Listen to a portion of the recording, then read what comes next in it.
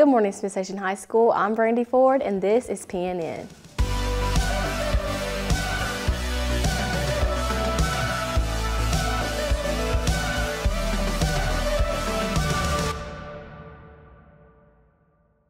Please stand for the Pledge of Allegiance.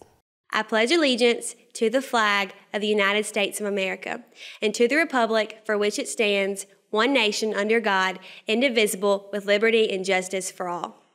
If you're interested in trying out for the cheerleading team for the 2016-2017 school year, there will be a mandatory parent meeting February 4th in the Media Center at 6.30 Eastern Standard Time. See Coach Fisher for any questions. Scholarship applications for Southern Union and CVCC are available in Mrs. Scott's office. March 1, 2016 is the deadline for submission of the applications. You must have applied to college before submitting a scholarship application. If you are a junior or a senior and you're interested in taking the test ASVAB, you need to stop by the counselor's office. The due date is January the 21st. The boys and girls track and field teams are doing a Super Bowl Boston butt sale. If you would like, if you would like one, see any track athlete or coach. The cost is $25 and the money is due by January 27th. Game Changers will meet every Monday and Friday at 8:15 in Coach Sykes' room. Everyone is welcome and don't worry about being late. Students who are in Mr. Myrick's 12th grade homeroom, you will now be reporting to Coach Fisher's room for the remainder of the year. If you were originally in Coach Fisher's homeroom, you will now be reporting to room 104A. Today for lunch is a pepperoni hot pot or a turkey and cheese sub or the baked potato bar, and your sides are garden salad, french fries, or pineapples. Here's a story on our art classes here. Walking through the hallway, you might have noticed the George Washington mural that Mr. Weathers' class painted. Well, they are now proud to announce their newest mural, Vincent van Gogh's Irises. The Visual Art 1 students painted this. There are 64 canvases that make up the mural, and each student was given a random 1 inch by 1 2 8 inch piece of artwork and had to reproduce what they saw on the 8 by 10 canvas. The artwork is truly a great achievement, and we're proud to be hanging it in our hallway. If you have time, be sure to stop by Mr. Weathers' class and congratulate them on their newest piece of art. This has been Jacob Prather, PNN. Back to you in the studio.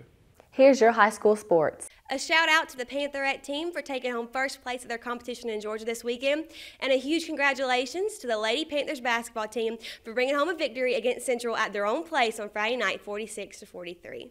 This semester, PNN starting something special. Each week, we will highlight a spring athlete who's done something exceptionally well for their team during one of their games. This week, we chose none other than the Quan Holton, who helped lead her team to a victory on Friday night at Central. Quan ended up with 21 points and 8 rebounds, and PNN got a chance to catch up with her and learn a little bit about her basketball past and what she plans to do with her future. I started playing basketball when I was like four years old, and then my parents sent me away to a basketball camp for like five weeks, and I stayed with my grandparents. And when I came back, I started playing upward when I was in kindergarten, K through six. I met Coach Sykes and Coach Jordan, and they moved me up. And I started playing varsity basketball when I was in seventh grade. And I was nervous. and I asked them to get moved back down. But I stayed with it. Coach Sykes and Coach Jordan was there with me for the whole way. At Central game last Friday night, I was really nervous going in there.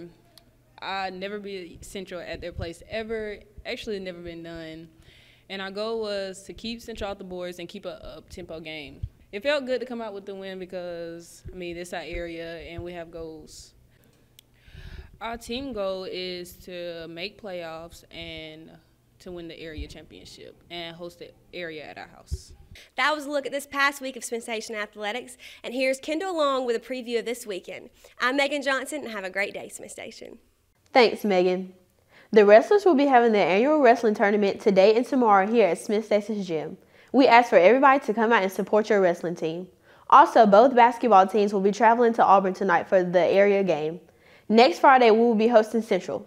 We ask for the Jungle and everybody else to come out and support your basketball team. This has been Kendall Long with your high school sports, PNN. Here's your vines for this week.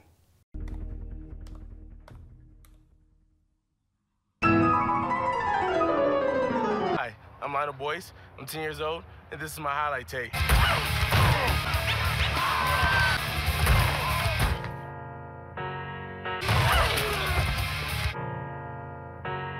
I really like you. Well, you're like a brother to me. Wait, what? Friend zone. Five, four, three, two, Your word is independent. Oh boy.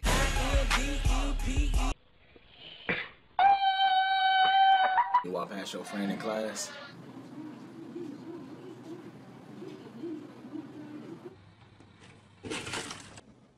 Chelsea. Behind you. Dog. If you ain't talking money, I don't wanna talk. Now here's Stephanie with a reminder of how to stay healthy this season. With students coming back from winter break, there are lots of viruses running around the school. It's important to remember that no matter where you are, proper sanitation should be applied at all times. Staying healthy means not missing school, which in return keeps you from taking your exams.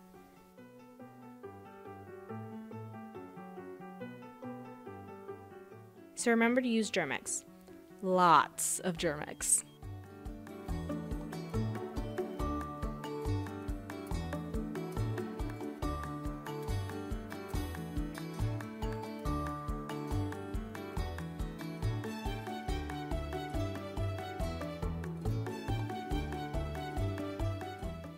Now, here's the MLK edition of Jaywalking.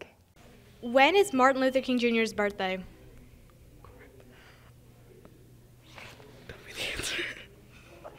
Um, I'm guessing March 16th.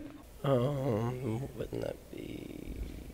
It's February 14th. In May? Can you recite part of his I Have a Dream speech? I have a dream. I have a dream. I have a dream that one day black, little black and white girls and little black and white boys will walk together hand in hand. Something like that. What is Martin Luther King Jr.'s middle name? Um, I, um, I, is it MLK? What's Martin Luther King Jr.'s middle name? Um, Luther? Wrong? That's all we have for you today. Have a great day, Smith Station.